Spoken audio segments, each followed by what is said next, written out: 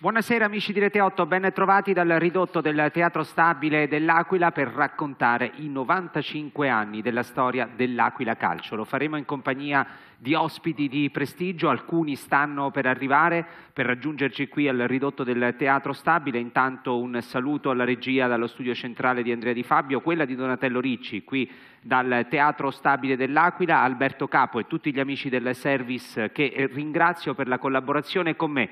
Luca Sanderra, allenatore della storica vittoria del campionato 1997. Ciao Luca, buonasera. Buonasera a voi. Giampaolo Arduini, storica firma del giornalismo aquilano, buonasera. a cui affiderò, metterò in mano la storia dell'Aquila Calcio. Buonasera Giampaolo. Buonasera. Grazie naturalmente per aver accettato il nostro invito. C'è il presente dell'Aquila, il presidente Massimiliano Barberio. Buonasera Presidente. Buonasera. Grazie, Grazie anche a te per aver accettato il nostro invito. E un'altra firma non prestigiosa di più del giornalismo aquilano e non solo, quella di Giustino Parisse. Ciao Giustino, buonasera. Ciao Enrico, buonasera a tutti. Ci stanno per raggiungere due calciatori, eh, tra un po' li vedremo, che hanno fatto la storia dell'Aquila Calcio, Pietro Ferzoco e Davide Di Nicola, arriveranno a brevissimo. Intanto io con il Presidente Barberio voglio subito risolvere un interrogativo, Presidente. L'Aquila Calcio, la vostra società, si chiama l'Aquila 1927, ma è iniziata proprio in quell'anno la storia del calcio aquilano?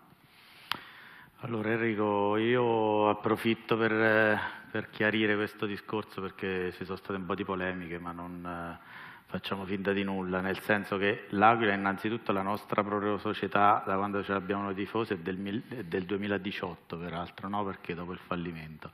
Però convenzionalmente l'Aquila parte nel 1927. Le prime partite di calcio all'Aquila si hanno notizie di, addirittura del 1915 e nel 1931 ci sono le prime federazioni dove, dove l'Aquila è stata iscritta, quindi diciamo nelle altre piazze si cerca di tornare magari eh, più indietro nel tempo, qui facciamo polemiche per arrivare dal 27 al 31, però lasciamo stare così e, e l'Aquila convenzionalmente è 1927.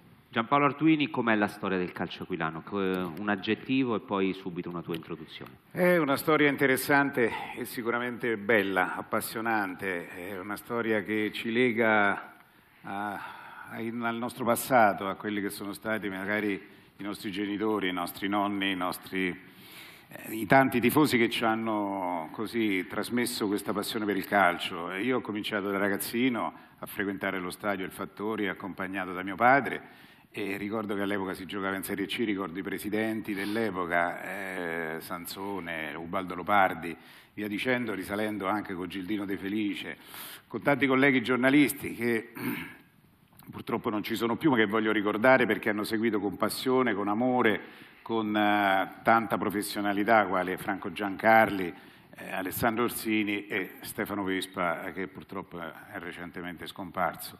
E poi tanti altri che sono fortunatamente ancora in vita, ma che eh, insomma, sono a, sempre presenti tra di noi, anche se non tutti li vedo allo stadio recentemente. Questa storia nostra è una storia di, di passione, di amore, soprattutto del, per il colore rosso-blu, per il colore di questa squadra. È una passione per una squadra che è stata la prima, ricordiamola, ad andare a giocare la Serie B, ma poi purtroppo a causa di quello che è accaduto a Contigliano è scomparsa e ha giocato nei purgatori della, della Serie D, io dico nell'inferno dell'eccellenza, per troppo tempo recentemente, a causa anche di, di, di guai dovuti alle gestioni non sempre attente, oculate, ma comunque credo che finalmente da quando questa società, arriviamo ai giorni nostri, è in mano a uh, tifosi del, è la squadra della gente, quando, da quando siamo in mano a questi ragazzi che sono veramente bravi, io dico ragazzi perché rispetto a me sono molto più giovani, quindi mi permetterete, però dimostrano di essere dei grandi professionisti, dimostrano di essere all'altezza, io credo che in qualunque momento fossero stati dentro la società dell'Aquila Calcio avrebbero sicuramente gestito in maniera ottimale. Chissà se eh, con loro questa squadra falliva o questa squadra adesso non stava magari nei campionati che più le si addicono, perché l'abbiamo visto ieri allo stadio di Acquasanta, che bel pubblico abbiamo avuto e che bel pubblico segue l'Aquila. È una squadra che in eccellenza ha un pubblico quantomeno di Serie C e francamente dover stare ancora a, eh, purtroppo a, a, soffrire in questi campionati così difficili quando invece purtroppo a causa di tutti gli eventi che ci sono stati saremmo potuti stare decisamente in altri campionati. Questo la dice lunga su come il mondo del calcio spesso non è un mondo che ci appartiene. Tra i campionati più belli della storia dell'Aquila c'è stato quello con due giovanissimi allenatori alla guida, eh, Stefano e Luca Sanderra, è stato il campionato vinto, l'Aquila che è tornata in Serie C, era la stagione 97-98 se non ricordo male, Sanderra, tra un po' l'analizzeremo ma andiamo proprio in ordine cronologico perché vedo pronto, prontissimo Giustino Parisse, il collega del centro, L'Aquila nella stagione 34-35, adesso perdonatemi se le date sono sbagliate, iniziò per la prima volta nella sua storia il campionato di Serie B. Alla terza stagione, nel 1936, ci fu l'incidente ad ottobre di Contigliano con la squadra che doveva andare a giocare in trasferta a Verona, il tecnico Buratti perse la vita, se non ricordo male Marino Bon, uno dei giocatori più importanti, era dato per morto, poi alla fine invece si salvò e affido a Giustino Parisse il racconto di quegli anni. Sì, l'incidente di Contigliano parliamo del, di sabato 3 ottobre del 1936. Quello fu un incidente che condizionò non solo il futuro del calcio all'Aquila, ma secondo me anche influì parecchio sulla storia della città. Quel momento, in quel momento storico la città stava vivendo un momento di crescita perché nel 1933 era stato inaugurato lo stadio Fattori con tutti gli impianti sportivi che ancora oggi ci sono. L'anno dopo fu inaugurata la funivia, si stava progettando l'aeroporto. La squadra in Serie B era un vanto della città. Quel giorno purtroppo tutto, tutto finì perché la squadra, come hai ricordato tu, doveva andare a Verona, era la quarta giornata di quel campionato di Serie B. Il campionato non era iniziato benissimo, c'era stata una vittoria la prima giornata, poi due sconfitte, quindi la squadra andò a Verona diciamo anche con un po' di tensione, con la necessità di, eh, di, fare punti. Chiaramente Giustino ti interrompo un attimo, allora le foto non erano della qualità di adesso, ma in questo piccolo fotogramma è, eh, vi mostriamo proprio quello che fu lo scontro esatto. del treno a Contigliano. Praticamente i giocatori dell'Aquila Calcio partirono in 13, eh, c'era l'allenatore Buratti, due dirigenti e il ecco, massaggiatore. Ecco, l'abbiamo ingrandita con Donatello Ricci. Eccola qui, e, e, qui lo vedete insomma quello che successe. E in pratica eh, i giocatori, l'Aquila Calcio partì da, dalla stazione dell'Aquila intorno alle 8 del mattino il treno arrivava da, da Sulmona perché la linea era Sulmona-Terni, eh, arrivati all'altezza di, di, Condigliano, Condigliano è un piccolo paese, oggi ha 3.000 abitanti vicino, eh, vicino Rieti, molto probabilmente per un errore del capostazione di Rieti, non fu data la precedenza alla Littorina, come si chiamava allora, a dire si è chiamata fino a poco tempo fa, e, e ci fu questo incidente perché dall'altra parte arrivò un autofurgone postale, un treno postale, nella littorina c'erano 85 persone, fra cui i giocatori dell'Aquila Calcio. Le, le, storie più recenti ci dicono che fu, ci furono 15, 15, morti, fra cui appunto Attilio, Attilio Buratti. Ha ricordato di Marino Bonne che era stato dato per morto perché svenne e poi per fortuna invece si, eh, si riprese e ci furono 69 feriti, fra questi 69 feriti la gran parte dei giocatori dell'Aquila Calcio che sostanzialmente poi non, non riuscirono, molti non riuscirono più a tornare in campo e da lì la grande crisi. Che cosa successe immediatamente dopo? Diciamo, la federazione di allora, le autorità sportive di allora eh, chiesero all'Aquila Calcio se erano disponibili a, come dire, ad accettare una non retrocessione, non giocare più ma non retrocedere. Diciamo l'orgoglio aquilano anche in quel caso ebbe, eh, ebbe, ragione e invece la squadra volle continuare a giocare. Naturalmente riaprirono il mercato, ci furono degli acquisti eccetera eccetera, però purtroppo un po' lo shock della tragedia, un po' chiaramente eh, molti giocatori che non erano più in grado di di, di, poter eh, scendere in campo e quindi la squadra retrocesse e da lì eh, l'Aquila Calcio non è più tornata, che era stata la prima squadra abruzzese in Serie B, purtroppo non è più tornata a quei livelli. Io intanto do il benvenuto a Pietro Ferzoco, io non so se chiamarla Pietro, mister, ex giocatore. Pietro va benissimo. Pietro va benissimo, è stato quanti anni con la maglia rossoblu dell'Aquila? Nove. nove anni, tra l'altro racconteremo quella partita di Cassino che purtroppo ha lasciato dei tristi ricordi, parleremo di tante cose belle sul campo con Pietro Ferzoco, a cui do il benvenuto chiedendogli in 30 secondi se mi racconta la sua storia nell'Aquila Calcio. Eh, io sono arrivato qui all'Aquila dal eh, Raiano nel 1976 e ci sono rimasto fino al 1985. Eh, quindi negli anni ho vissuto la fase di Gildino De Felice, quella in cui l'Aquila Calcio scherzosamente veniva definita come una PMI, prestiti militari studenti, era un, una squadra veramente molto giovane, i 6, 7 undicesimi avevano ecco, intorno ai 20 anni. Io qui riconosco Pietro Ferzoco. Questa dovrebbe essere la partita col Perugia, mi sembra quella. Esatto. E, e poi c'è stato un cambiamento in società, un cambiamento no, che ha portato dentro degli operatori economici, eh, l'organizzazione della società per provare a vincere il campionato, cosa che riuscimmo a fare nella stagione 78-79 e poi si è andato avanti tra alterne vicende e quel gruppo unitario di imprenditori no, che erano riusciti a mettersi insieme per cercare di portare avanti un discorso importante, di, di fatto non durò più di tanto e quindi tra alterne fortune si è andato avanti per, per, per, tanti anni, sempre così. Vediamo se Ferzoco ci, ci, dà una mano a riconoscere tutti i giocatori in questa foto. Io Ferzoco lo vedo a fianco a Valdo Cherubini. Sì, eh, cominciando dalla mia sinistra, il Peppe Pacini, poi scusi, ho qualche problema anche di vista se andiamo ai giocatori. L'allenatore è Collesi, se non sbaglio. L'allenatore è Collesi, sì, finimmo, cominciamo la stagione con eh, Petrelli, poi ci fu un avvicendamento, per un, qualche giornata eh, avemmo anche la collaborazione del eh, compianto Bernardi.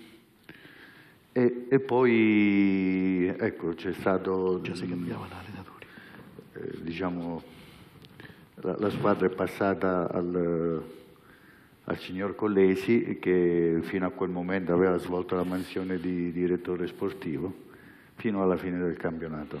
Che anni erano quelli Giampaolo? Eh, credo l'anno in cui l'Aquila mi pare no, questo è l'anno, anche... dello spareggio di Cassino. Sì, Militello, dico, insomma, riconosco. Quante, no. quanto erano belli sportivamente parlando quegli erano? Poi erano, è diventata erano anni, tragedia, erano, erano, anni esaltanti. Io ricordo le radiocronache fatte da Cassino quando seguivamo con Radio L'Aquila, che era l'unica vera voce che usciva da questa città radiofonicamente parlando e all'epoca appunto con Stefano Vespa, con Andrea Fusco che poi si è salito alla RAI a lavorare in RAI e seguivamo questa squadra. Io ricordo benissimo quella trasferta eh, patita con tutto quello che accadde purtroppo sul mondo. Tra un po' ne parleremo Giampaolo di quella certo, partita. Certo. Io poi volevo raccontare questa, questo aneddoto perché Giustino Parissi ha parlato eh, fino agli anni della, della, Serie B, quindi la tragedia di Contigliano. L'Aquila poi retrocesse, non ce la fece, ma partecipò per anni alla, alla Coppa Italia e ci fu, abbiamo preparato anche una foto Donatello,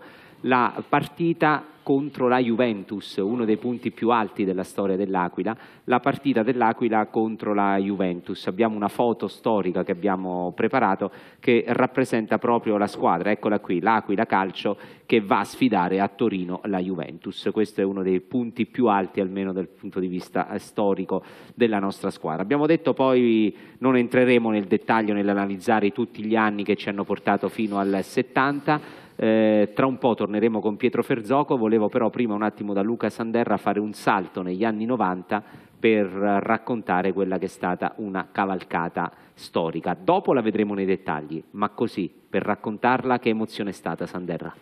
È stata una grande emozione perché poi non partivamo con i favori del pronostico perché il Presidente, che eh, mi, mi fa piacere citare, Gabriele Valentini, aveva profuso molte energie a livello economico negli anni precedenti e quindi noi siamo partiti un po' a fari spenti.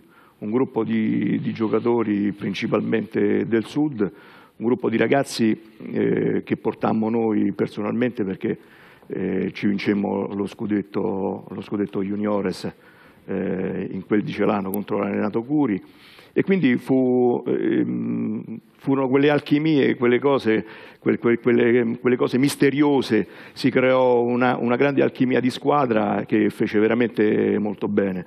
Eh, non eravamo i favoriti perché i favoriti erano il Rieti che aveva speso molto a livello, a livello economico, c'era la San Benedettese e c'erano altri, altri compagini che comunque erano più accreditati di noi. Però noi piano piano con tanta umiltà e, e tanta, tanto sacrificio, tanta unità di intenti, eh, prendemmo, facemmo subito bene, eh, sin dalle amichevoli, delle, dalle amichevoli, estive, si vedeva che comunque c'era un bel gruppo. E, e, quindi fu una bellissima cavalcata eh, che arrivò in, in, quel di Pineto che era l'ultima giornata e, e arrivammo con un punto di vantaggio sul, sul Rieti e quindi trionfammo e andammo, andammo in C. Fu una grandissima soddisfazione anche perché noi eravamo alle prime esperienze da allenatori, quindi fu una, un bel biglietto da visita.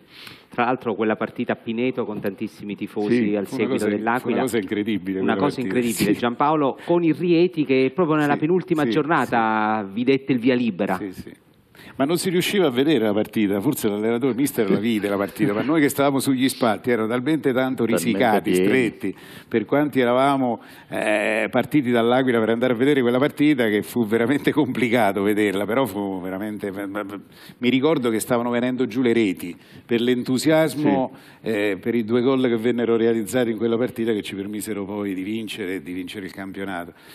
Tante soddisfazioni ma tanta amarezza pure Enrico per l'Aquila Calcio, proprio, proprio tanto, tanto, cuore ci vuole intorno a questa squadra e a questa società.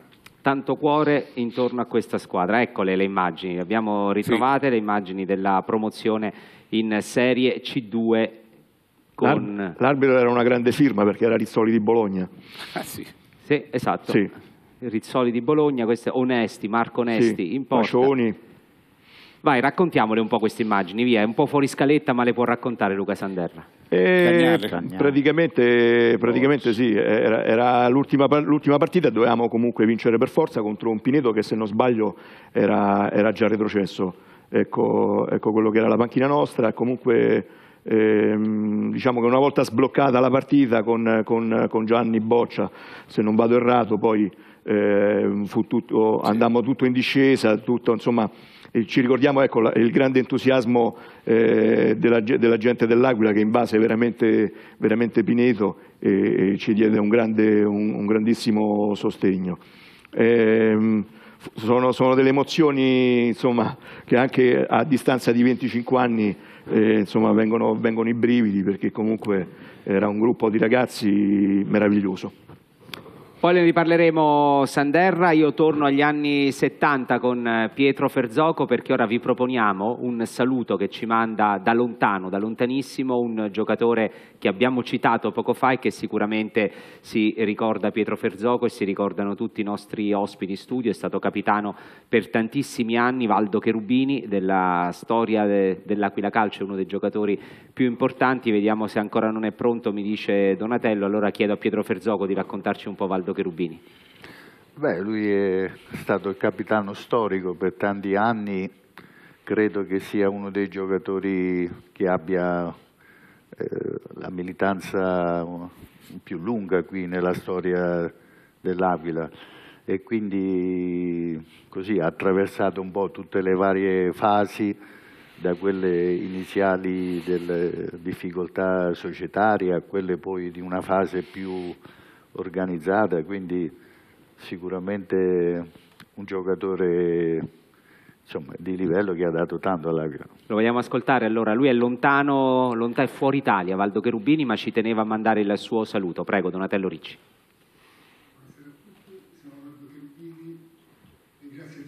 Giancarli che mi ha permesso anche stando lontanissimo di parlare, dare eh, il mio mio saluto a tutti. Sì. Calcolando che ho diciamo, circa 30 anni, sì, sono stato 13 anni calciatore, per i restanti 15 eh, allenatore, eh, presidente del settore giovanile, ho ricoperto un po' tutte le cariche che una società può dare. Ho esordito che avevo 16 anni nel campionato semiprofessionistico perché eh, l'allora Serie D era un campionato semiprofessionistico e fino a 32 anni come calciatore e poi come responsabile, presidente, allenatore di tutte le varie categorie dell'Aquila Calcio.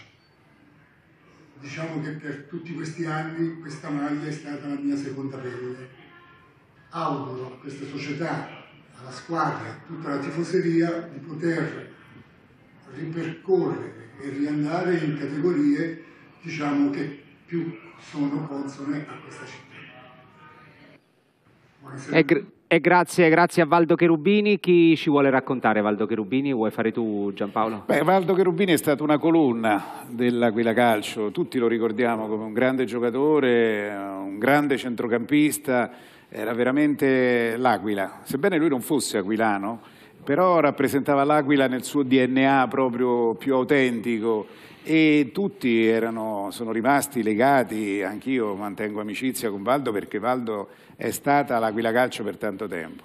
Come ha ricordato prima Pietro Ferzogo, era l'Aquila di Gildino De Felice, era l'Aquila del pane e mortadella e di un bicchiere di tè molto si emulavano l'Aquila Calcio e l'Aquila Rugby all'epoca, perché tutte e due vivevano di queste, di queste dimensioni. L'Aquila Rugby vinceva gli scudetti, l'Aquila Calcio cercava di salvare la Serie C e non è che ci riuscisse spesso.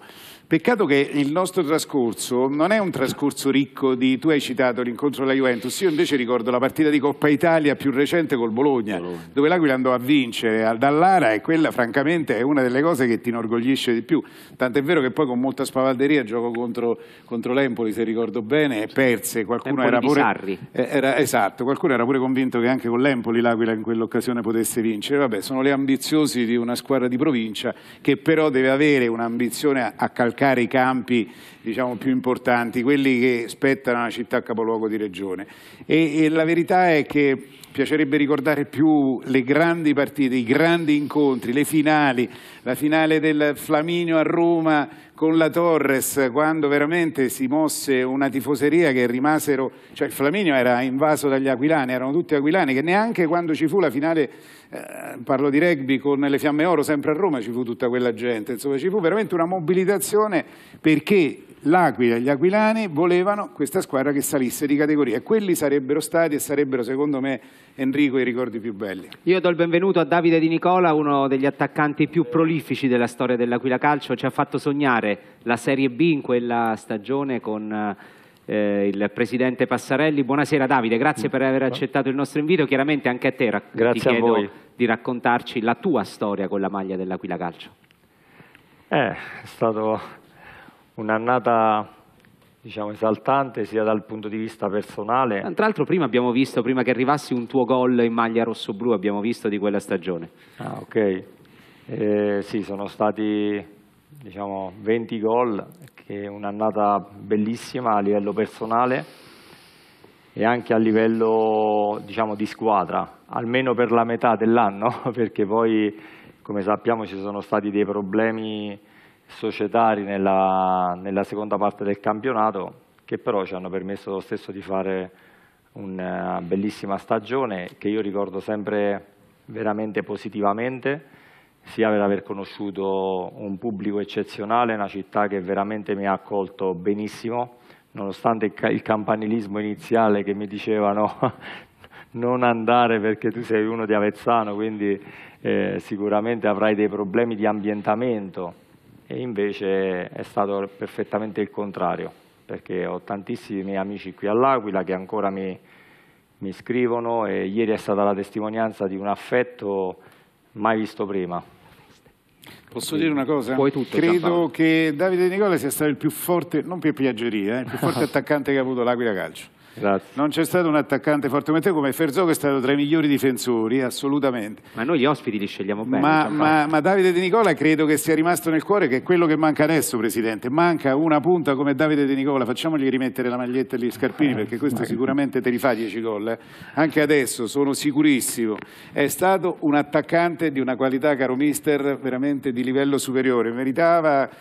Cioè lui ci voleva portare in Serie B, diciamo la verità Davide, ce l'ha messa tutta E io ce proprio. l'ho messa tutta anche diciamo, con i miei compagni di squadra, però poi le vicende societarie insomma, le conosciamo tutti e è stato veramente un peccato perché al fine- alla fine del girone d'andata eravamo primi, avevamo vinto anche con il Palermo, quindi avevamo dato una dimostrazione di forza molto importante. E poi eh, la storia è andata al contrario e quindi abbiamo dovuto addirittura faticare alla fine per eh, quantomeno ottenere una salvezza e per evitare il peggio. E poi l'anno dopo sono andato a Rimini, nonostante la mia volontà di non voler andare, però era a quanto pare l'unica possibilità. Era l'unica soluzione. Intanto chiedo a Donatello di farci vedere un po' di immagini della tifoseria rossoblù di quegli anni perché era davvero emozionante vedere lo stadio Fattori. Io ricordo la partita contro il Palermo che decise un colpo di testa di Grossi sul Grossi. calcio d'angolo. 13.000 se non sbaglio. 13.000 persone andammo più o meno sul limite di quello che fu la partita con il Gualdo Dadino, che ufficialmente erano 12.008, però sicuramente poi ne, arriva- ne arrivarono molte, molte di più di, di persone quel giorno. Eh, tra un po' torno con Davide Di Nicola, naturalmente e con i nostri ospiti per analizzare le loro annate. Io rifaccio un passo indietro e rivado agli anni 70 con Pietro Ferzoco per introdurre con Giustino Parisse quella che poi è stata la partita di Cassino. Se ce la può ricordare dal punto di vista strettamente sportivo perché poi la tragedia la affidiamo al ricordo di Giustino Parisse. Beh, siamo arrivati a, a quello spareggio dopo che ecco, pensavamo di poter risolvere prima il campionato a nostro vantaggio. Ci fu questo, questo spareggio e, e noi cercammo di, così, di prepararlo nel modo migliore, ma eravamo convinti di, di potercela fare, quindi eh, siamo stati qualche giorno lì in ritiro a Cassino per preparare la partita, ma in un ambiente sereno e convinto che aspettavamo quella partita proprio per eh, poter eh, raggiungere quello che era stato il nostro obiettivo eh, dall'inizio dell'anno.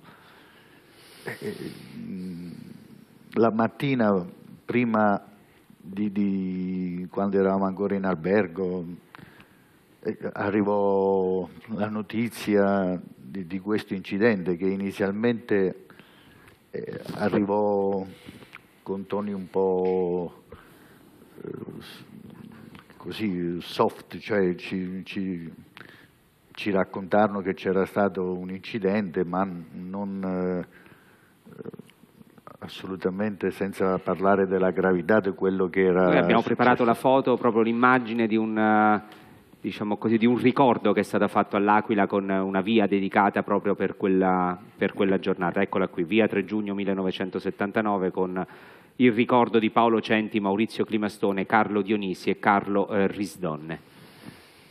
Enrico, se posso Prego, fare un intervento perché ieri c'è stato un, un momento della, della manifestazione quando abbiamo premiato le vecchie glorie con una targa ricordo perché devo dire che state, è stato un bel momento insomma e tutte queste persone sono venute alla prima chiamata insomma anche da lontano e c'è stato Serafini che ha fatto un ricordo di questi quattro ragazzi e devo dire che ho visto le lacrime agli occhi, insomma, quasi tutta la platea, è stato un momento veramente emozionante.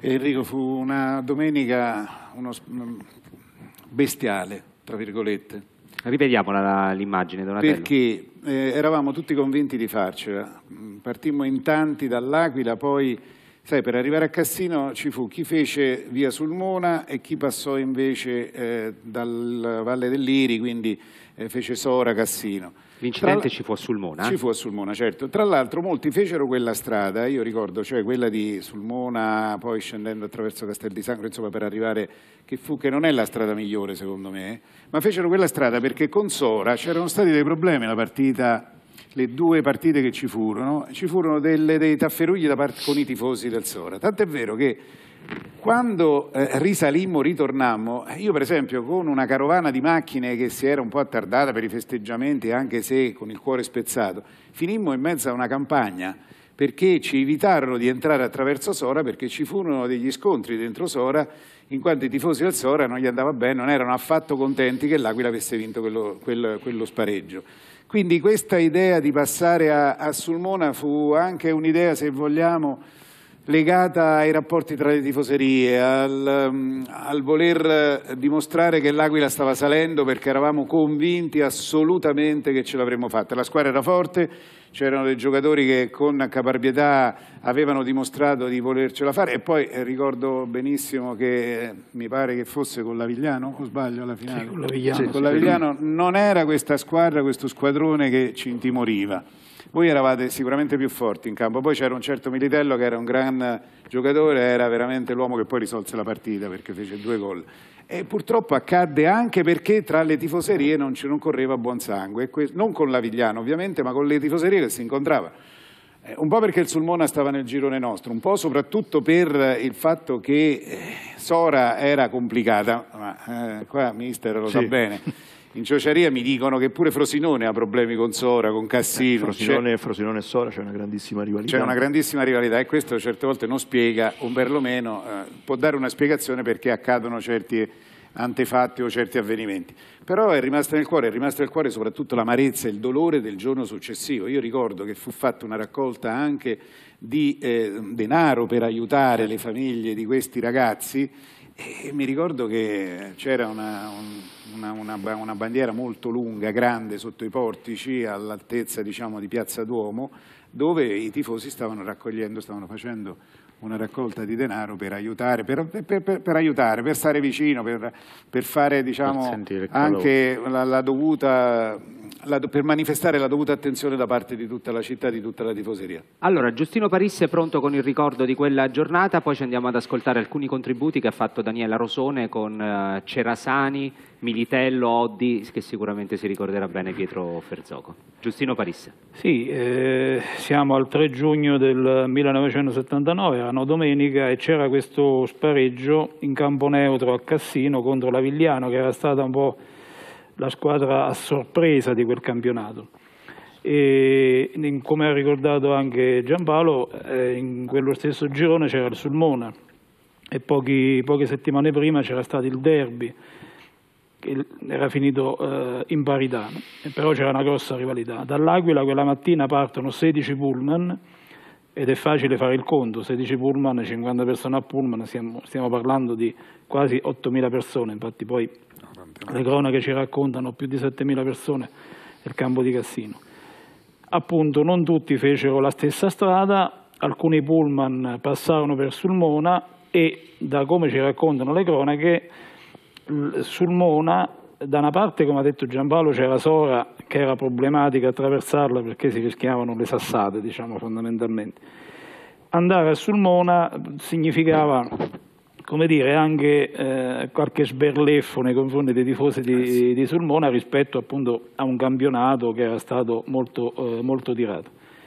E a un certo punto uno di questi pullman, naturalmente molti erano fuori dai finestrini, con la testa, con le, anche, anche con, diciamo, con una parte del corpo fuori dai finestrini, probabilmente per farsi vedere diciamo, da, eh, da, chi stava, mm, parliamo dell'acquedotto di Piazza Garibaldi, che eh, chi vive a Sulmona lo sa bene, Piazza Garibaldi e, e, quel punto lì in particolare la domenica mattina è pieno di gente. Questo pullman gira all'interno di, eh, di, di, di, questo arco del, dell'acquedotto, purtroppo i quattro ragazzi che erano fuori dal finestrino eh, non dico nemmeno quello che è successo perché ve lo potete immaginare, e la cosa che colpì poi eh, moltissimo è che qui si parlava di ragazzi giovanissimi, il più, il più adulto, diciamo per modo di dire, era Maurizio Clemastone, aveva 18 anni, ma il resto erano tutti ragazzi quindicenni. Naturalmente la notizia arrivò anche a Cassino, come ha ricordato Ferzogo, arrivò diciamo, ai giocatori un po' più soft, però insomma molti, molti seppero e quindi quella fu una vittoria. Anzi, sempre le cronache ci raccontano che all'inizio gli stessi giocatori, insomma, la partita ingranarono piano piano, tanto che poi ci fu un gol un po' sulla fine del primo tempo, adesso non, non ricordo esattamente, ma insomma questo è quello che ci raccontano le cronache. Naturalmente quella fu una vittoria con una grande, grande amarezza, poi nei giorni successivi, già l'avevo ricordato Giampaolo, ma poi ci furono i funerali che furono veramente eh, una cosa enorme, partecipò tutta la, tutta la città.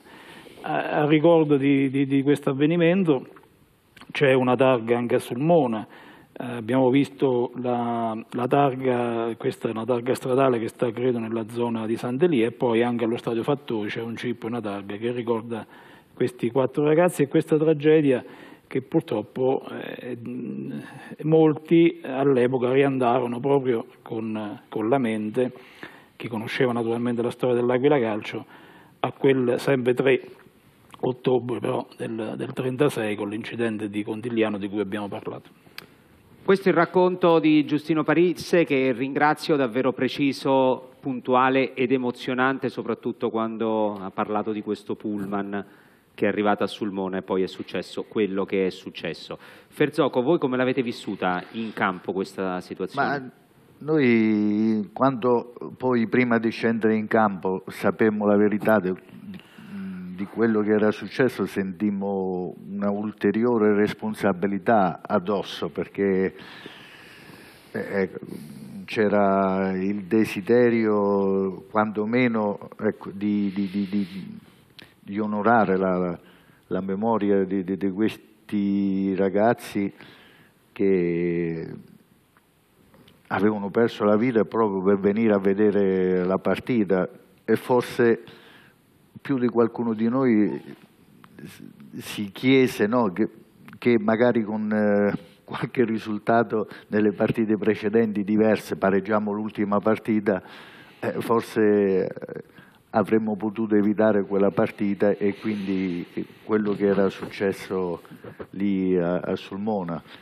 Però poi il campo è, è quello che alla fine dice l'ultima parola, noi dovevamo giocare e cercammo di farlo al massimo delle nostre La partita, possibilità. raccontaci. Una partita che, ecco, come ricordava Giustino, all'inizio, all'inizio con una certa tensione, e quindi la squadra dell'Avigliano poi era anche una squadra sorpresa che a sorpresa aveva raggiunto questo spareggio anche con merito aveva dei valori, quindi inizialmente fu una partita un po' tesa, combattuta come spesso lo sono gli spareggi, poi una volta passati in vantaggio riuscimmo a gestire con, con una certa padronanza eh, la partita fino al 2-0 finale. Insomma. Brevemente Ferzoco, gli anni 80 fino agli anni 84 lei ha giocato con la maglia dell'Aquila, se non ricordo Fino all'85. 85, che anni sono stati quelli successivi? Se non ricordo male con eh. Eh, Guido Attardi in panchina. No, Guido Attardi c'è stato nel 1977. No, io, negli anni precedenti. L'anno precedente. Negli anni sì. precedenti. Beh, furono tre anni in cui facemmo la Serie C, il primo anno a buoni livelli, anche noi alla fine del girone d'andata eravamo terzi, vincemmo il, il derby in casa col Giulianova ed eravamo terzi in classifica, per poi assestarci su un onorevole centro classifica. Poi nelle annate successive, ecco, man mano ci furono cambiamenti in società con delle difficoltà. L'anno successivo fu una, una stagione di rinnovamento all'inizio con una salvezza comunque raggiunta con una certa tranquillità e poi ci fu il terzo anno della retrocessione nel girone Veneto, arrivavamo a giocare fino a Pordenone con, eh, insomma, con dei problemi societari come, come spesso succede in queste situazioni. Nell'anno successivo invece all'inizio ci fu un grande entusiasmo perché fu l'anno degli americani, no? sì. ci, così ci ritrovammo all'inizio della stagione con tanti ragazzi che vennero a giocare da noi da, dagli Stati Uniti ed era un po' un'incognita, una novità in senso assoluta. Sai perché mi sono sbagliato Ferzoco? Perché negli anni Ottanta eh, voi eravate allenati da un giovanissimo Carlo Florimbi e giocaste contro Guido Attardi che era la guida del, sì, della Lodigiani. Della Lodigiani. Noi, noi arrivavamo secondi e loro vinsero il campionato proprio in quest'anno di cui in queste, stavo... quest'annata qua. Sì, sì, mi ricordavo Guido Attardi ma era sulla panchina della Lodigiani. Sì, sì. E poi vado avanti con gli anni, vado avanti perché mi sono appuntato un po' di cose, ci fu l'altra stagione, quella con Nazareno Cerusico in panchina, quella con Aldanzuini e con un attaccante, non forte come Di Nicola, ma come Anikic, che strappò i complimenti dell'allora allenatore della Roma Sven Goran Eriksson perché era un giocatore davvero molto molto forte. L'Aquila però non riuscì a vincere il campionato, lì c'era un po' l'ossessione anche dell'Ostiamare che poi sì. eh, arrivò avanti, si ricorda Giampaolo? Come no, era un'ossessione vera l'Ostiamare. L'Ostiamare era un'ossessione vera di quegli anni. Con e poi arrivò l'anno di Antonio Circi, gli anni di Antonio Circi con eh, il ritorno del grande pubblico allo stadio, sì. l'anno di eh, Cicchitti e di Marco Santi, eh, ma prima di arrivare a quell'annata eravamo debitori di alcune interviste che vi avevamo annunciato proprio per chiudere le annate di Pietro Ferzoco, abbiamo detto che c'era Cerasani, Angelo Cerasani, la... Lupe. Esatto, l'attaccante Militello, il portiere Oddi, ce li ha pronti Donatello Ricci, li ha intervistati per noi, Daniela Rosone al giorno del compleanno, cominciamo con Cerasani.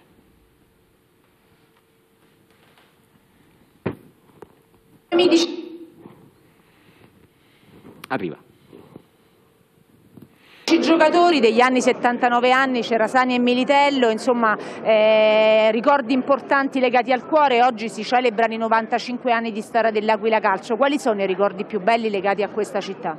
Bellissimi, guarda, io ci ho fatto una vita dal 70-71 il primo campionato, ma c'ho il cuore all'Aquila, è il cuore per questa città. Dopo l'anno che lei stava ricordando era l'anno dello spareggio a Cassino dove giocavamo una bella partita e Militello fece due gol e abbiamo dato una soddisfazione enorme. L'unico problema fu una, la tragedia dei ragazzi che morti a Sulmona e lì c'è un, un agrodolce diciamo, dai, però purtroppo... Eh, è capitato. Fa parte della vita, insomma un, un ricordo brutto quello dell'incidente a Sulmona, i suoi due gol però nello spareggio a Cassino, insomma questa città si ama, rimane nel cuore, 95 anni di storia che si festeggiano oggi e voi siete stati la storia dell'Aquila Calcio. Sì, devo dire che io ho giocato qui quattro stagioni, ma l'anno 78-79 è indelebile, non solo per la promozione ma per tutta la stagione, per come si è svolta, perché a un certo momento dell'anno eravamo in netto ritardo e poi riuscimmo a recuperare ed arrivare allo spareggio che diceva Angelo prima, che purtroppo è stato bello e tragico nello stesso momento. Quindi viene ricordato soprattutto per quei ragazzi che ci hanno lasciato la vita e che credo che ci abbiano dato una spinta in più quel giorno per vincere la partita. E queste le interviste di Daniela Rossone, ne abbiamo un altro contributo, Donatello, dammi l'ok quando è pronto Oddi, il portiere di quelle, di quelle annate, appena l'ok di Donatello Ricci ve lo mostriamo e poi andremo agli anni di Antonio Circi, eh, Giampaolo, gli anni 90, 91, 92, con il Flaminio una volta bel pro protagonista sì. in positivo, una volta in negativo, in e gli spareggi certo. con il Gualdo Datino. Mi dà l'ok Donatello, è pronto Oddi. Cesidio Oddi, quante mitiche parate all'Aquila, che effetto fa oggi essere qui per questa festa bellissima dei 95 anni? Ma è un effetto un po' particolare chiaramente di, anche di nostalgia perché chiaramente sono passati tanti anni, io ero un ragazzo e ritrovarmi adesso, oggi, in questa splendida festa, in questa città che, che amo anche perché sono abruzzese anch'io, quindi è un'emozione insomma non non facile da mandare giù anche per via dell'età, capito? Cioè, vorrei tornare qua all'età che avevo, che avevo allora. Ci si emoziona di più? Eh, sicuramente sì, cioè, io spero solo, ecco, chiaramente noi stavamo nell'altro stadio, sono, sono, arrivato ieri, ho visto questo qui, ho detto questo non può fare l'eccellenza, capito? Cioè, nel senso, quindi speriamo presto che si ritorni a vedere una partita un po' più importante, anche che va bene anche questo, tanto l'importante è vincere, capito? Eh, però è un'emozione bella. Grazie Daniela Rosone che ci ha fatto riascoltare le voci dei compagni di Pietro Ferzoco, sempre con un volto non sorridente. Ferzoco, gli abbiamo strappato un sorriso quando ha rivisto i suoi vecchi compagni. Sì. Eh? Beh, sono sicuramente dei ricordi bellissimi. Andiamo allora Giampaolo. Beh, intanto, intanto, io eh, osservo una cosa, i migliori attaccanti sono tutti marzicani, quelli che hanno giocato con l'Aquila, di Nicola a Iulupe eh, o il Lupo. Tra un po' ne abbiamo di gol da raccontare di certo, Davide di Nicola, certo, eh, tra un po' certo. Nell'epoca Cesidi Oddi, ecco, visto che stiamo citando alcuni tra i migliori in assoluto, ecco Cesidi Oddi credo che sia stato il miglior portiere che abbiamo mai avuto all'Aquila. Ce ne sono stati di molto bravi, sì. però Oddi era veramente forte. E anche era... il compagno di Davide Di Nicola non era male, Paoletti, scuola Torino, mi anche Paoletti, poi Paoletti venne preso in Serie A, addirittura ci fu sì, pure sì. Quella, quella, vicenda di quanti milioni costò quell'operazione. Sì, nel... sì, fu un'operazione un po' particolare. Allora, anni 90, Giampaolo, dammi una mano tu qui, anni 90, Barberio, se vuoi intervenire quando vuoi, però poi ci devi dire un po' come riporterai l'Aquila in... no, a proposito degli anni 90, così anticipo, non voglio fare quello che racconta solo le tragedie, no, però no, negli anni 90 ci fu un'altra tragedia che interessò appunto l'Aquila Calcio perché morì in una trasferta mentre Nicola. andava a Pontedera Nicola. A Nicola ci arriviamo tra un po' sì. perché lei era il 94, era sì, o 93, 94, sì, forse la stagione 90, 94, 93, 94, la stagione del Pontedera, quella, arriviamoci in Serie C e raccontiamo come Giampaolo L'Aquila è arrivata in Beh, Serie C. Arrivò... Arriva in Serie C intanto con Antonio Circi, sì, presidente. Sì, era un po', insomma, era un presidente un po' particolare, così, un, una persona molto singolare nel modo di essere, che però rimase diciamo, era accattivante nei confronti della tifoseria e nei confronti di tutti gli sportivi che frequentavano il Fattori e che vedevano in questo romano la possibilità, perché nei confronti dei romani c'è stata sempre molto diffidenza da parte degli aquilani, anche nei confronti dei giocatori, perché si è sempre detto che il giocatore romano non è il giocatore all'altezza, erano tutte dicerie, è un giocatore difficile, un giocatore abituato alla capitale e questa, questo presidente a un certo punto invece riuscì a entrare nel cuore degli aquilani perché era ambizioso, perché giustamente voleva portare questa squadra eh, sempre più in alto. Però pure lì, eh, pure all'epoca ci furono delle vicissitudini, diciamo, che non furono tra le più belle, tra le migliori. Qui dovremmo, dovremmo riportare, avere tra noi Dante Capaldi, che voglio eh, salutare, che è un carissimo amico, un collega giornalista, il veterano vero di tutti i giornalisti aquilani e che eh, ha dei ricordi indelebili su, queste, su quello che accadde. Così come ecco, stiamo vedendo i giocatori dell'epoca quello che riuscirono a combinare, quello che riuscirono a ottenere, i risultati, le vittorie, i gol, eh, gol veramente di bella fattura. Eh, sinceramente questo ci faceva sperare di avere questa squadra che tornasse ai livelli che meritava e non era facile, non lo diciamo sempre caro Presidente Barberi, lo continueremo a dire, noi vorremmo veramente tornare a calcare i campi che ci, più ci diciamo, sono con, gli avversari dell'Aquila, Gualdo Dadino. Ma sì, Gualdo eh. Dadino, ma insomma, ma noi ricordiamo le partite con il Palermo, con il Messina, con, con squadroni, che, insomma, a parte il Pisa, lo spareggio con il Pisa, ma poi in Serie C insomma, ci sono state grandi squadre. Allora, raccontiamole veloci quelle annate. La prima annata con, le, con Leo Acori in panchina, l'Aquila arrivò a pari punti con eh, la Cilia, ci fu lo spareggio al Flaminio, vinto 2-0 ai supplementari, gol di Naso e D'Agostino Bravo. e poi la trasferta di Gualdo Dadino. Andò male a Gualdo, 2-0 al ritorno, una punizione che passò sotto la barriera subito 1-0 per il Gualdo, finì 1-1 davanti a 13.000 spettatori. Che delusione, ci aspettavamo di farcela quella domenica, ci aspettavamo veramente di, tutti quanti di, di, festeggiare questa vittoria perché ce la sentivamo. A Gualdo ricordo che ci furono dei grossi problemi anche per quanto riguardava la presenza degli tifosi, eh, ricordo benissimo che le televisioni aquilane non riuscivano neanche a trasmettere, per la prima volta una televisione aquilana tramite Telespazio riuscì a fare all'ultimo momento una, la, la, telecronaca della partita che poi arrivava e non arrivava, si vedeva e non si vedeva, ci furono grossi problemi perché... Questi sono i tifosi del Gualdo allo Stadio Fattori.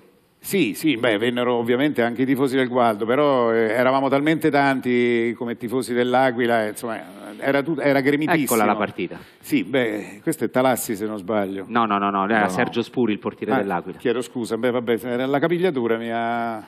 Sergio Spuri il portiere dell'Aquila. Sì, perché ci sono stati, voglio dire, ecco, lo stadio si vede, ma era il periodo in cui insomma, lo stadio si riusciva ancora a gestire, era stato fatto quello spicchio a sinistra dei distinti che riusciva a contenere diciamo, i tifosi delle squadre. ecco Questa è la punizione che è subito dopo. Eh, guarda- guardate che pubblico lì È dietro. impressionante, Sì, sì, impressionante. Guardate che pubblico. Io la punizione so- dopo pochi minuti che è passata sotto le gambe della barriera e subito il Gualdo che aveva vinto 2-0 all'andata segnò subito il gol Io Enrico ho dell'1-0. un, ho un, eh, un rumore che mi rimane in testa in- indelebile che fu il palo di Maniero a Gualdo, A Gualdo, sullo perfetto, 0 sullo 0 a se 0. tu ricordi Me lo quella fu benissimo. veramente un segnale del destino L'Aquila perché- giocò con le maglie gialle a Gualdo. perfetto E Le maglie che non si capiscono certe volte. Se torna un po' indietro con quel filmato, Donatello, una nella comunicazione in diretta, si vede proprio il gol che subì l'Aquila a Gualdo nella partita di andata. Ma forse è meglio che la ri- ce la risparmiamo i tifosi no. dell'Aquila. Ma le sofferenze basta. le Meglio- sofferenze meglio basta. Allora, le Donatello, sei pronto con Massimiliano Marco Santi il contributo? Basta con le sofferenze, Donatello. Massimiliano Marco Santi, il contributo che ci ha preparato ieri eh, Daniela Rosone, Marco Santi insieme con lo storico capitano Marco Cicchitti che doveva essere con noi ma per alcuni problemi di famiglia non è potuto venire e vi manda tanti saluti.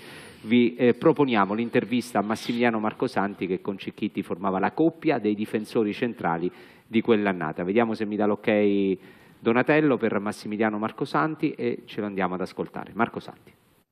Massimiliano Marcosanti, diciamo, eh, è tornato spesso in questi anni perché lui è rimasto legatissimo, ex difensore dell'Aquila Calcio, a questa città. Che effetto fa oggi per i 95 anni aver rincontrato tanti amici? Insomma, gli aquilani vi ricordano la mitica grotta di Aligi, tantissimi gli aneddoti Massimiliano che possiamo raccontare. Sì, guarda, innanzitutto saluto tutti gli aquilani e per me è un grande onore essere qui oggi. Poi è anche vero che ogni tanto io qua attorno perché voi mi pensate sempre e ogni volta che c'è sta un qualcosa io sono molto contento di, di tornare. Oggi sì, è vero, rincontro parecchi amici, vuol dire pure che sono passati tantissimi anni e ci stiamo anche invecchiando, tra virgolette, però questo ci fa tornare indietro negli anni, dei ricordi bellissimi. Qua io sono stato quattro anni e mi ci sono trovato molto bene, la gente aquilana mi ha voluto bene, è una bellissima cosa. Tra le particolarità extracalcistiche di Massimiliano c'era anche quella Mercedes rossa che si vedeva solo quella in giro per l'Aquila. Ecco, la Mercedes Rossa era di Ugo Mastropietro, è un tifoso, me l'ha data lui, e, no, l'ho tenuta parecchi anni, poi è finita perché c'era già parecchi anni. Quando passavi lasciavi il segno, insomma, in campo e fuori. Non, non potevo andare in qualche posto perché era impossibile che mi, mi vedevate subito, perciò ero tranquillo e non c'è nessun problema. Senti Massimiliano, a parte gli scherzi, insomma, ci piace ricordare anche queste cose, poi eh, un augurio all'Aquila Calcio, lo facciamo per oggi. Sì, innanzitutto adesso mh, è anche prima in classifica l'A- l'Aquila Calcio e io spero vivamente che quest'anno è l'anno buono, che vinca il campionato e vada in interregionale in Serie D perché innanzitutto quello è, è la, è la categoria minima che compete a questa città.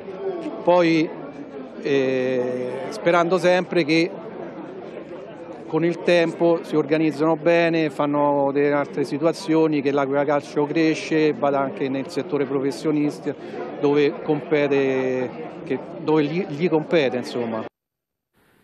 E queste le parole di Massimiliano Marco Santi, uno storico difensore dell'Aquila. Grande difensore. L'anno dopo lui. Gualdo arrivò in panchina Massimiliano Kerry, altro testa a testa fino alla fine, altro spareggio questa volta allo stadio, sempre allo stadio Flaminio contro la, La Torres, Torres. e andò Eh sì, male. e andò male, Però sì. arrivò la Serie C perché l'Aquila fu ripescata. E andiamo al 94 che è quello che voleva raccontarci Giustino Parisse. No, no, va bene, del 94 è soltanto questo episodio che vide coinvolti due, due tifosi dell'Aquila Calcio, Nicola Mezzacappa che purtroppo morì nella trasferta a Pontedera e con lui c'era Lorenzo Castri, un suo amico che le cronache ci, ci, raccontano che rimase in coma un bel po' di tempo. Mi ricordo io all'epoca ero già chiaramente al giornale e mi ricordo che molto, la città fu molto coinvolta da questa, eh, da questa vicenda e soprattutto tutti abbiamo sperato che Lorenzo Carse si potesse riprendere il più presto possibile. Un, un altro passaggio, come dire, in un momento, tra l'altro guarda caso in un'annata in cui l'Aquila viene promossa, come era successo come dire, nel, nel 79. Evidentemente questa è una città che ha bisogno ogni tanto di, Bagni di, sangue. di vivere delle tragedie che naturalmente non vorremmo mai vivere. Eh, esatto. mm. Un po' troppe però. E adesso torniamo con l'Aquila Calcio che poi eh, diciamo così, non riuscì a tenere la categoria della Serie C in quegli anni, ci fu uno dei No, Giampaolo? Eh sì, c'erano grossi problemi all'epoca, ero assessore allo sport, c'erano grossi problemi, come ci sono sempre stati nel, nell'Aquila Calcio per la gestione della società, problemi di natura economica, problemi legati alla gestione degli impianti, problemi legati alla difficoltà di trovare diciamo, una dirigenza capace di poter gestire la categoria, perché oramai eh, molto spesso vediamo, assistiamo a grandi città, a grandi piazze che purtroppo non riescono a mantenere la categoria. E, e questo è dovuto spesso alla necessità di dover comunque vincere, comunque giocare a certi livelli, ma comunque dover avere anche la possibilità di gestirli. E lì le società ebbero grossi problemi, grossissimi problemi. Provammo in tutti i modi come amministrazione ad aiutarla. Questo Era l'Aquila tema... Cilia, se non ricordo male. Sì, questo è un tema ricorrente, quello degli aiuti da parte delle pubbliche amministrazioni nei confronti del... Questo è Di Chio, se non sbaglio. Sì, sì Marco Di Chio. E problemi da parte delle amministrazioni ad aiutare. Oggi finalmente siamo riusciti, sono riusciti ad affidare l'impianto sportivo di Acquasanta, che è un impianto che tutti quelli che vengono dicono quanto è bello, come fa una squadra a giocare in eccellenza con un impianto così. Beh, quella è stata una decisione presa con forza che ci ha permesso di avere un impianto adeguato per avere almeno la Serie C. Eh, però per fare quello ci Io vuole una società... mi collego a quello che hai detto, questi problemi sempre, diciamo, in anni si sono ripetuti tante volte. È facilissimo fare debiti, fare problematiche economiche a gestire una società, non ci vuole niente. L'unica cosa che noi siamo tifosi, io rappresento tutto questo gruppo di, di amici con cui gestiamo l'Aquila e siccome ci mettiamo la nostra faccia e da, dalla parte dei tifosi assolutamente non potremo mai fare il passo più lungo della gamba e questa cosa però mi ricollega al discorso dello stadio. Prendere lo stadio in gestione per noi è, stata una, però una, scelta. Posso interrompere Presidente? Ne parliamo alla fine dopo. di questo Perfetto. perché stiamo andando proprio per raccontare gli anni. Abbiamo detto che l'Aquila, diceva Giampaolo, non ce l'ha fatta a tenere il professionismo dopo la conquista della Serie C2 con il ripescaggio e arriviamo adesso, Donatello, possiamo rimetterle subito le immagini della vittoria del campionato 97-98 con eh, Sanderra in eh, panchina e con quella cavalcata che è stato un campionato trionfale. Ora lo puoi raccontare nei dettagli. Sì, sì, Dall'estate, no. da come mi nacque l'idea? Da... No, mi ricollego a Giampaolo sul discorso degli impianti perché c'è un aneddoto bellissimo. Noi facevamo la preparazione a Piazza d'Armi e praticamente ci allenavamo la mattina lì e il pomeriggio al campo adiacente che era quello di calcio con delle pietre pazzesche, esatto. ma la cosa più bella la mattina in mezzo alla gente eh, è stata una cosa fantastica perché ci fu un connubio, eh, un connubio eccezionale con, con, con, con, le persone e praticamente eravamo proprio a contatto con, tutti quelli che erano eh, già i, diciamo, i, tifosi e quindi già eh, si partì con il piede giusto.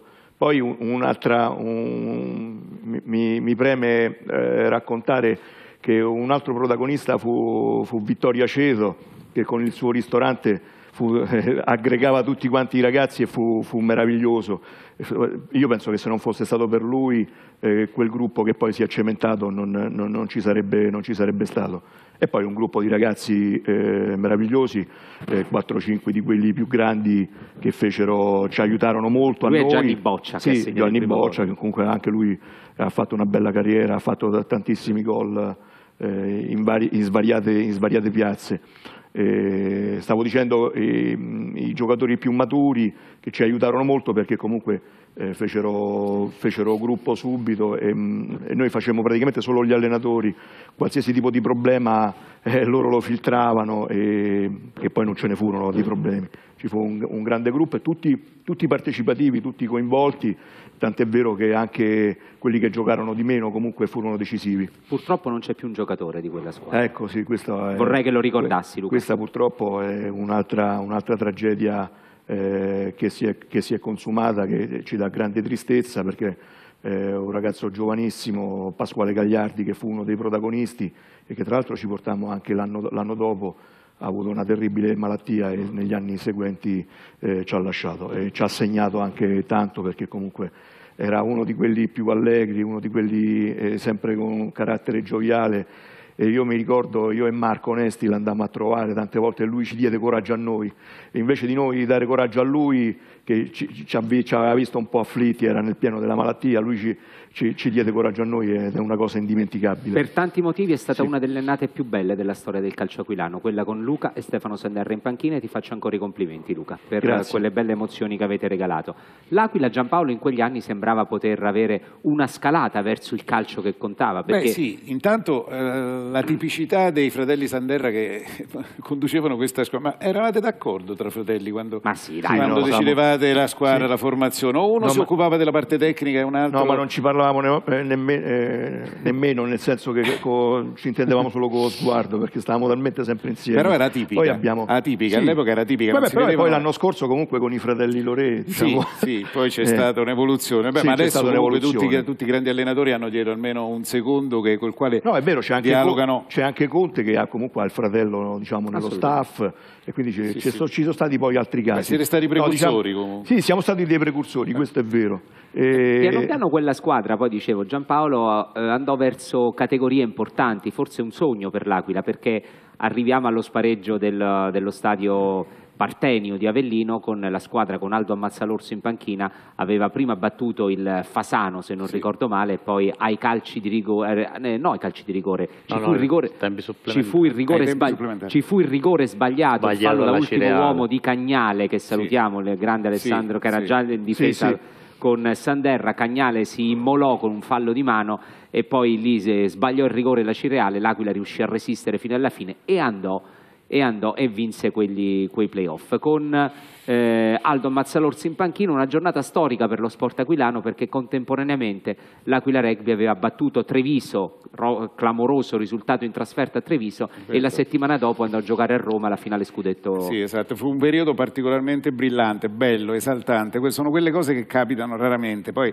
l'Aquila viveva di calcio e rugby per cui avere queste due squadre che vincevano tutte e due, insomma era qualcosa che è rimasto, al quale siamo rimasti legati, purtroppo poi il tempo, quello che è accaduto, i drammi che abbiamo vissuto in questa città, francamente ci hanno fatto dimenticare tante cose belle e gioiose. Dovremmo ricordare più le cose belle, caro Giustino, che non le cose brutte, ahimè, perché ne stiamo ricordando troppe di cose brutte. Enrico, e... tra le cose, scusa Giampaolo, tra le cose che ci siamo dimenticati, la salvezza a Paternò. Ah sì, no, ma prima manca ancora, manca, manca. Okay. ci manca sì. ancora. Però non era prima, no? No, Salvezza Paternò è 2003-2004, ci manca, sì, ci dobbiamo ah, ancora arrivare, ci dobbiamo.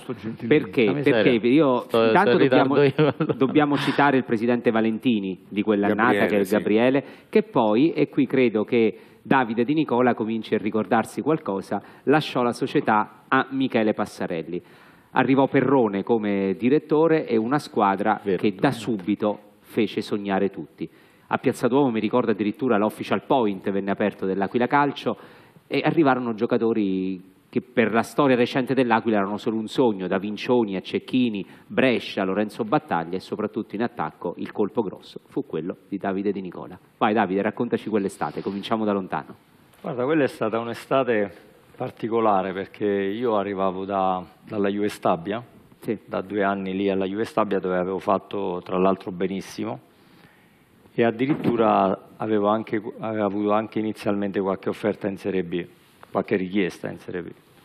Eh, poi vabbè, le cose non sono andate perché un allenatore che mi voleva non firmò più all'ultimo con quella società e mi trovai all'ultimo giorno di calciomercato prima non era come adesso che era tutto di seguito, era dal primo al 15 luglio, quindi chi c'era c'era, altrimenti a novembre.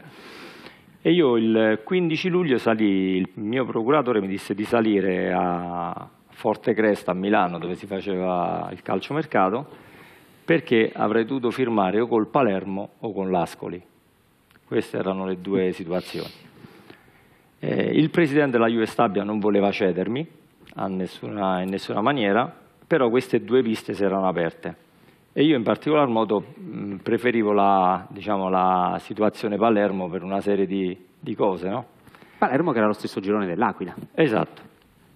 Eh, la cosa, la scena epica che mi ricordo è che vidi nello spogliatoio, della, nello spogliatoio nel box della Juve Stabia a, al calciomercato, a un certo punto vedevo sgabelli che volavano eh, perché il mio presidente col direttore sportivo si erano praticamente, a quanto pare avevano dato una parola al Palermo, non mantenuta alla fine, quindi si erano, si erano creati dissapori, tanto è vero, da quasi arrivare alle mani, insomma. Quindi fu una scena dove io rimasi sbalordito.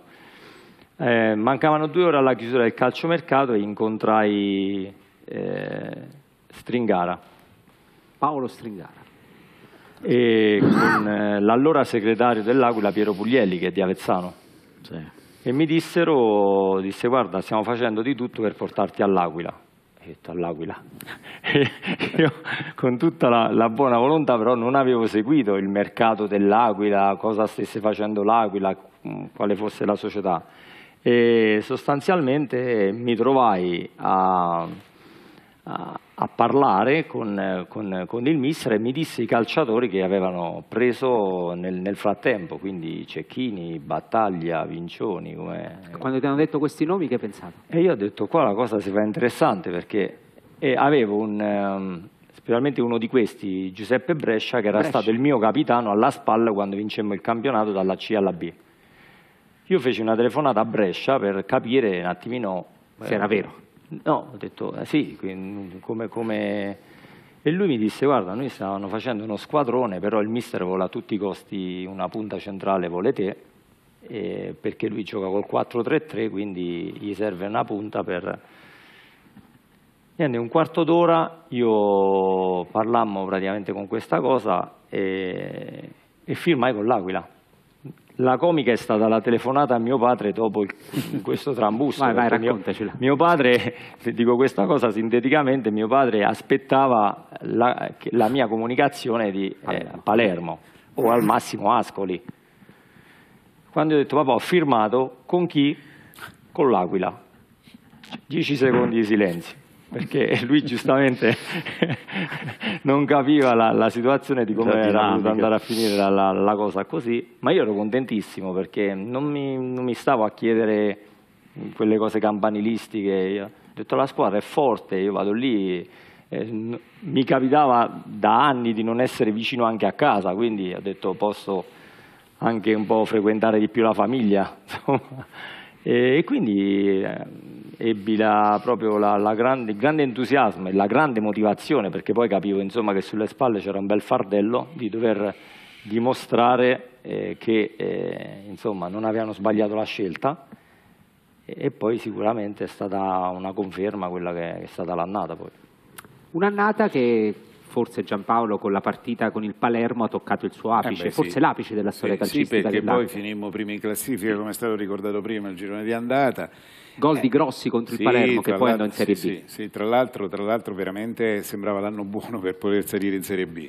Quella fu un'annata particolare, tra l'altro ha citato dei nomi di giocatori importanti. Stringara che viene all'Aquila, mi chiamò la Gazzetta dello Sport e mi disse guarda l'allenatore è un po' come te, l'allenatore dell'Aquila è Stringara, fece non è possibile. Dice, no, no, è Stringara, c'è la prima conferenza stampa, vai, perché Stringara sta già all'Aquila. Cioè, non ci credevamo che un allenatore, un mister come Stringara potesse certo. scendere all'Aquila, perché Stringara era convinto con la squadra che era stata allestita di fare un grosso campionato, un grande campionato. Il resto, ma vi siete dimenticati, prima l'hai citato Cecchini, che cos'era? Andrea, Poi finì in Serie B, giocò alla Chi grandissima era il, il, tuo numero 7 che ti dava tanti assist? Eh, Vincenzo Lanotte. Vincenzo Lanotte, Donatello, è pronto Vincenzo? Perché lo abbiamo ascoltato ieri Vincenzo Lanotte. Vincenzo Lanotte è amatissimo. Non, è, non, era uno dei grandi acquisti perché aveva no, già vinto il campionato con l'Aquila. ma lui ama altrettanto Ass- l'Aquila. Assolutamente. Vediamo se è pronto Vincenzo Lanotte, sempre con Daniela Rosone. Ve lo mostriamo. Arriva. Siamo con Vincenzo Lanotte, non ha bisogno di presentazioni, ex giocatore dell'Aquila Calcio, un campionato vinto 99-2000, poi anche l'anno successivo è stato con l'Aquila, un legame indissolubile perché Vincenzo è tornato tante volte, viene, è stato sempre sensibile anche per tante manifestazioni di solidarietà. Oggi si celebrano i 95 anni, che cosa significa essere di nuovo qui? Abbiamo visto i tifosi ti salutano, insomma abbracci tutti, ti cercano, eh, il cuore di Lanotte è rimasto rosso-blu. Sì, sicuramente qua ogni volta che torno è come tornare a casa.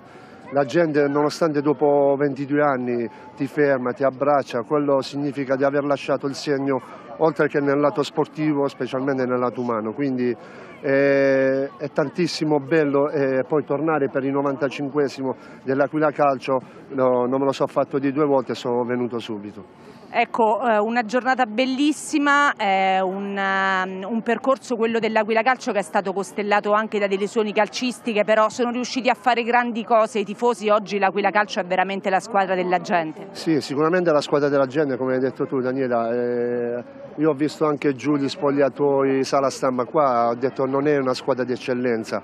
Eh, la società mette a disposizione tutto e per tutto per la squadra e spero che al più presto vengano fuori da questa categoria. E queste le parole di Vincenzo eh. Lanotte. E il girone d'andata, Davide, fu perfetto. Quanti gol avevi realizzato tu già nel girone di andata? Ma penso la metà, 12. 12. Eh... Eri il capocannoniere, no? Sì, sì, sì. Eri il capocannoniere. Poi, eh, anche fino alla fine. Eh... Come toccavi il pallone facevi gol, però purtroppo è cambiato qualcosa nel sì. girone di ritorno. eh, cambiò subito dopo Natale. Sì.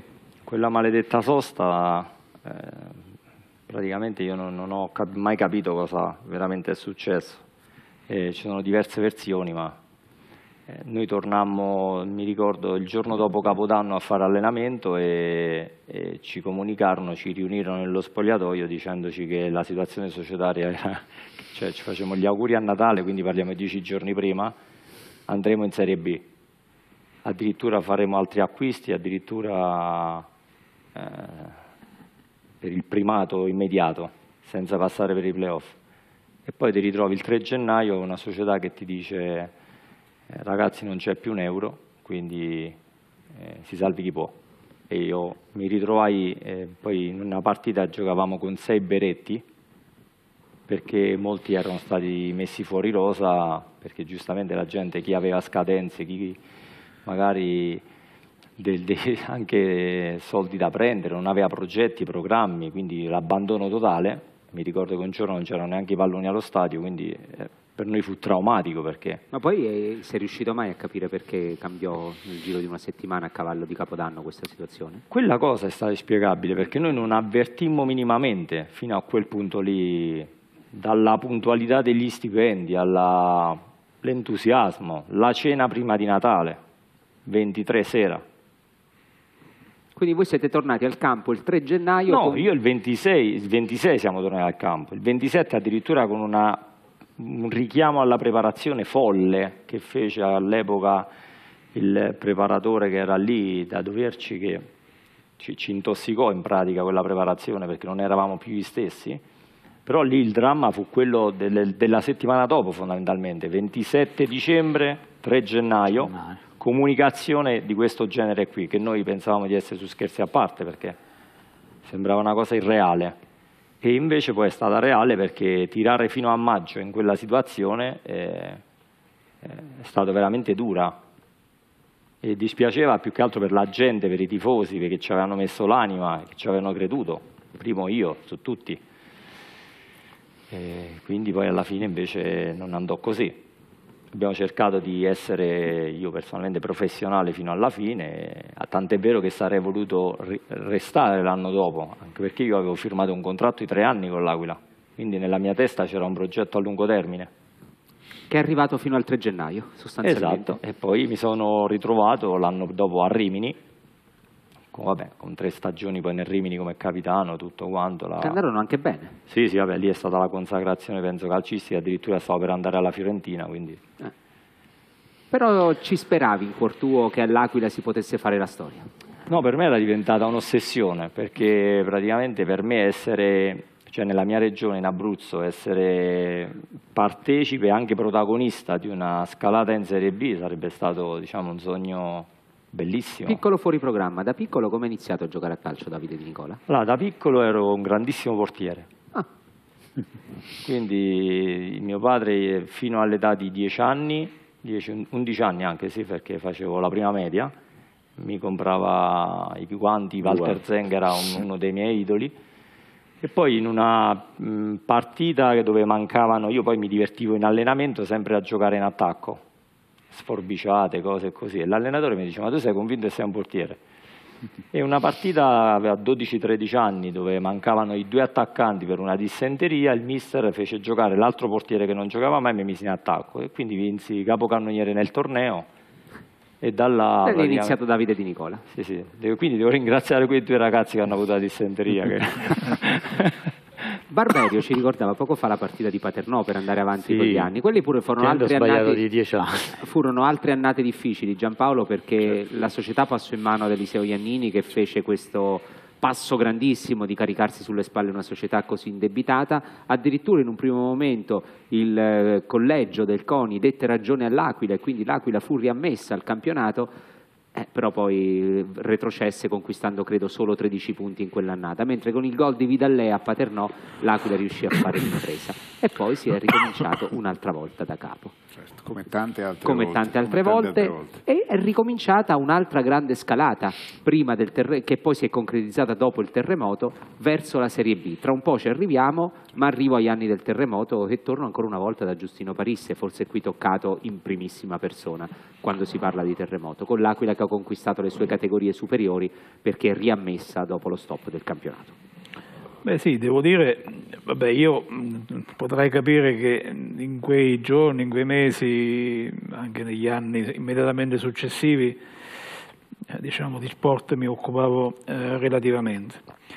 E, però ecco, eh, credo, con mille difficoltà, eh, perché poi chi quella vicenda l'ha vissuta in maniera diretta sa che le, le cose sono state complicate, il terremoto ha frenato la storia della città, ma ha frenato anche lo sport. E purtroppo poi abbiamo visto, a parte quel passaggio che poi ricorderai sicuramente, credo nel 2013, no? che ci fu un'altra promozione, ma poi il resto sono stati anni complicati, anni, anni difficili. Però io eh, penso sempre che lo sport, anche in quel momento, abbia dato una grande mano alla città, anche se non era, non era il rugby che ricordavamo noi da, quando eravamo giovani e non era il calcio che magari ci aspettavamo. Però lo sport in questa città c'è sempre stato, c'è ancora, eh, ci sono anche altre discipline, penso ad esempio al basket, Sì. sicuramente penso al nuoto, che, che pure ha una, una società importante. Ecco, quindi certo, dopo il terremoto era, era difficile pensare, eh, pensare ai campionati di calcio, eh, tutti sapete che i campi di calcio di tutta la zona erano diventati delle tendopoli, forse credo salvo il Fattori che non aveva avuto danni particolari, anche se fu utilizzato per un brevissimo tempo. Quindi c'è stata una lunga, una lenta ripresa.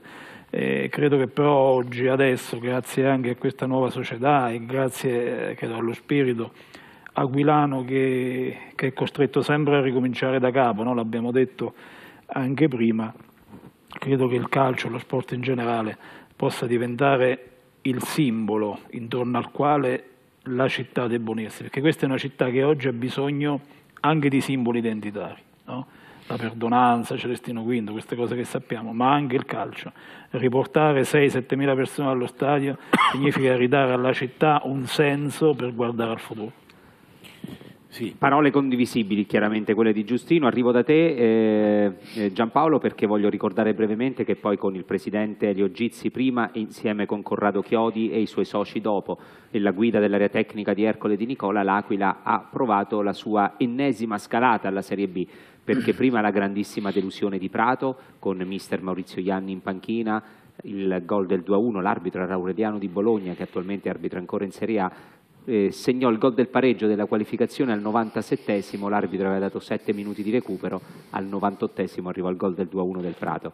E poi ci furono tanta, altrettante delusioni e arrivò per cambiare dal punto di vista calcistico la storia dell'Aquila Giovanni Pagliari. Con Giovanni Pagliari la squadra si rimise in riga, parliamo dell'anno successivo, e ai playoff prima ha battuto il Chieti e poi il Teramo. Prima di commentarla con te Giampaolo io direi di andarci ad ascoltare proprio Giovanni Pagliari, il tecnico della promozione eh, dell'Aquila in Serie C1, è pronto e ci ha mandato questo videomessaggio.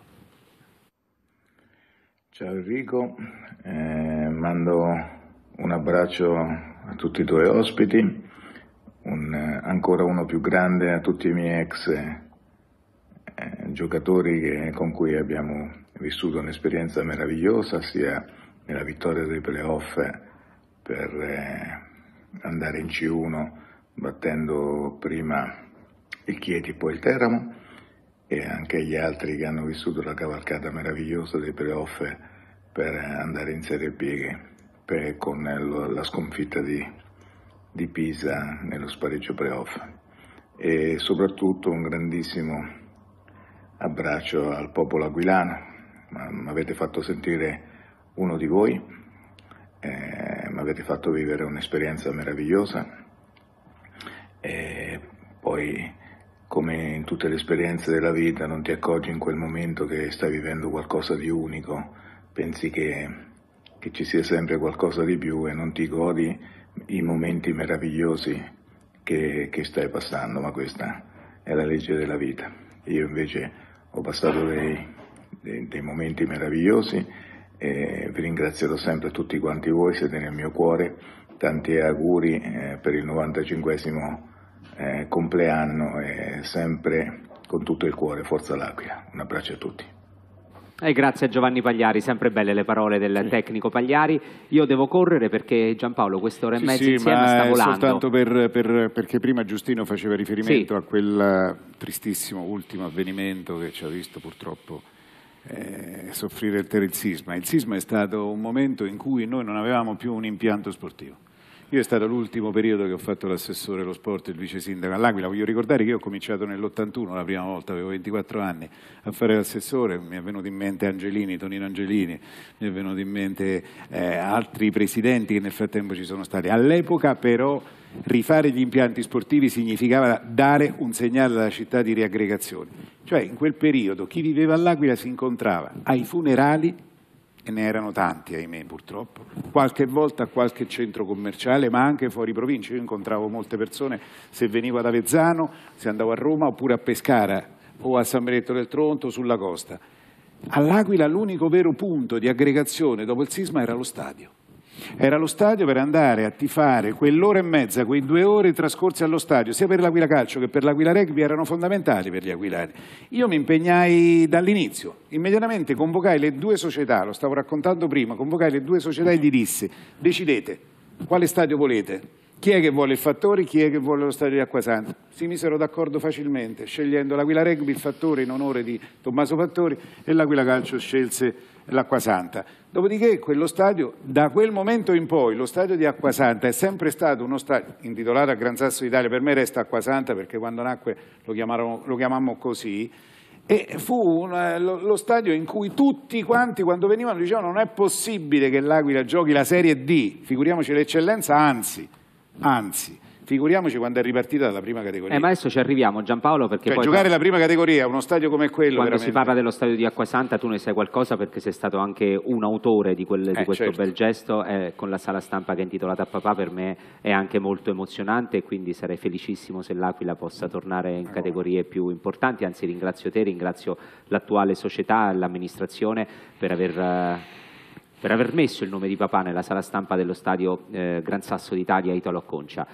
massive Brevemente faccio una cronistoria di quelli che sono stati gli anni dopo Giovanni Pagliari con quella punizione di eh, Cor eh, Ciccio Corapi che si stampò sulla traversa contro il Pisa, dalla mano mm. eh, non riuscì a, e Ciciretti non riuscirono a spingerla dentro, il Pisa di Provedelle, il portiere che ieri è stato il portiere della Lazio, non è andata tanto bene la Lazio ieri, almeno Giampaolo qualche soddisfazione ce la leviamo, 3-0 in favore della Juve, giusto per dirlo così, dirlo, no? lo sì, possiamo sì, dire. Sì, eh, era Provedella il portiere del Pisa, eh, l'Aquila Calcio ha iniziato un altro periodo di declino con la retrocessione a Rimini, con la Serie D di mister Battistini che saluto, che senza società sostanzialmente... Ottimo allenatore. Ottimo allenatore, Ottimo senza allenatore. società sostanzialmente fece il massimo.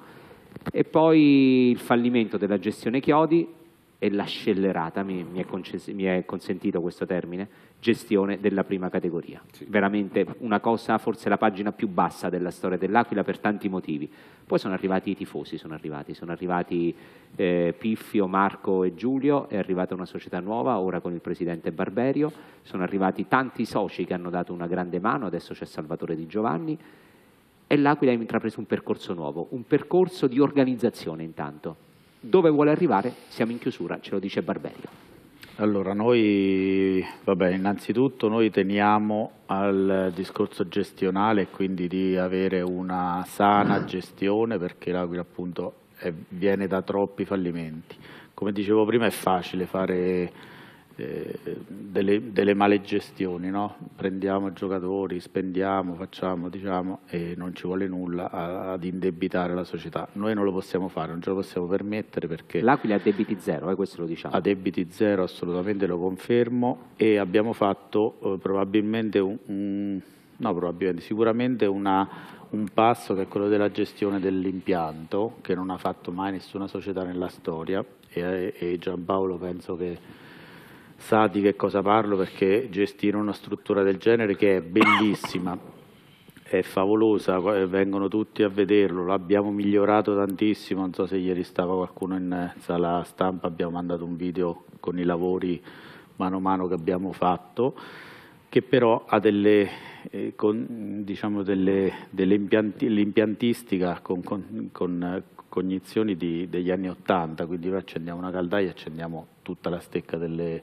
degli spogliatoi, per cui con gestioni veramente difficili, le dobbiamo fare in maniera accurata come facciamo, come stiamo facendo, cercheremo di fare degli interventi anche strutturali. Su questo non avevamo dubbi, io vorrei, siamo proprio in chiusura, Barberio, dichiarare a tutti gli amici dell'Aquila che ci stanno guardando in diretta, noi siamo qui dal Teatro Stabile, dal ridotto del Teatro Stabile, ma a tutti gli amici che ci stanno guardando da casa, l'obiettivo dell'Aquila Calcio a medio-lungo termine. Volete portare l'Aquila in che categoria? Risponda sincero, Barberio. Allora, noi sin- sinceramente vorremmo un minuto, riportarlo, vorremmo riportarlo nel calcio professionistico. Ovviamente deve essere una cosa eh, con una progettualità, così come ci stiamo muovendo in questo, in questo senso, e la struttura, le parti strutturali degli impianti ovviamente dovranno fare la, la parte da padrona perché senza strutture il settore giovanile non lo riesce a gestire e quindi noi ce la metteremo tutta. Giampaolo, in chiusura? Sì, un soltanto questo, un progetto? appello all'amministrazione, essendo stato un amministratore, bisogna stare vicino alle società che gestiscono gli impianti, perché le società da sole non gliela fanno. L'idea di affidare lo stadio, dello stadio di Acquasanta all'Aquila Calcio e il fattore all'Aquila Rugby mi nacque in occasione di una partita all'Aquila-Perugia eh, giocata all'Aquila quando Elio eh, Liberati, assessore allo sport del Comune di Perugia, al mio fianco seduto, gli chiesi come faceva Perugia a gestire lo stadio e il Perugia a gestire lo stadio. Disse ce l'hanno dato, lo gestiamo e gli feci fate tutto da soli? No, il Perugia ci dà 200 pe- eh, la città di Perugia, il comune di Perugia ci dà 200.000 euro l'anno. Io credo che le amministrazioni comunali debbano stare a fianco, perché se facciamo due conti e se io mi ricordo quanti dipendenti, quanti funzionari, quanti lavori c'era bisogno ogni- in ogni occasione, quante polemiche ebbi anche con Franco Giancarli quando si arrabbiava perché lo stadio Fattori non era adeguato a quelli che erano gli standard, quante polemiche perché non c'erano gli impianti. Aveva ragione papà sicuro. certo, quante polemiche perché non c'erano gli impianti per gli allenamenti. Ricordo Florimbi che mi veniva veramente a pietire, dice come facciamo noi ad allenarci? Non abbiamo la possibilità con uno stadio dove ci giocava il calcio e il rugby. Se l'amministrazione veramente davvero e oggi ha la possibilità, perché oggi le amministrazioni comunali hanno tanti soldi, hanno grandi possibilità, non era come all'epoca nostra e dovevamo fare i conti veramente con gli spiccioli. Io so che questa amministrazione Guarda, è attenta, Giampaolo, sì, devo dire mi che- auguro che, possia- che possa Devo- aiutare voi come gli le altre società che gestiscono gli impianti. Con il messaggio di Giampaolo Arduini ci fermiamo qui, spero che questo lungo racconto di 90 minuti della storia dell'Aquila Calcio sia stato gradevole per voi che ci avete seguito da casa. Datemi solo tempo di ringraziare Mauro Volpe e Daniele Mastracci del Volsound, qui tecnici, eh, che sono i tecnici qui al ridotto del Teatro Stabile, con Donatello Ricci per la regia e con Alberto Capo per le riprese, la regia di Andrea di Fabio e Francesco Berardinelli dallo studio centrale di Rete 8, Luca Sanderra che ha guidato l'Aquila nel 97-98 con uno straordinario campionato vinto, Giampaolo Arduini, storico, Buonasera. giornalista e non solo dell'Aquila. Ciao Giampaolo, grazie. In bocca al lupo al presidente attuale Francesco Barberio. Il Grazie a un'altra firma con la F maiuscola, tra l'altro è stato l'unico ad aver intervistato il Papa quest'anno. Giustino Parisse, grazie, Grazie. Giustino. Pietro Ferzoco, storica mh, figura del calcio aquilano, grazie Pietro Ferzoco. E Davide Di Nicola, forse l'attaccante più forte che ha avuto la storia del Grazie calcio aquilano. Ciao Grazie. Davide, grazie, Grazie. grazie a voi che ci avete seguito da casa e ci vediamo con i nostri prossimi programmi. Un saluto dal ridotto del Teatro Stabile dell'Aquila.